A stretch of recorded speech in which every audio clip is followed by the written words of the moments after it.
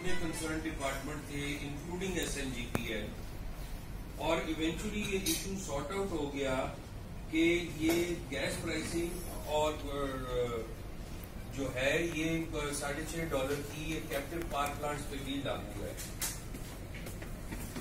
छह मार्च को हमारी मीटिंग हुई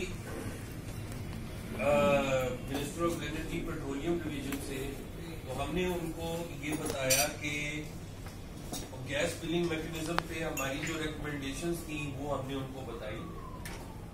गवर्नमेंट को हमारी रिकमेंडेशन ये थी कि गवर्नमेंट को चाहिए कि एक परमानेंट गैस टैरिफ जो पाँच ज़ीरो रेटेड सेक्टर्स के लिए है, वो डिटरमिन कर दें रादर देन के जी हर महीने सब्सिडी देगा।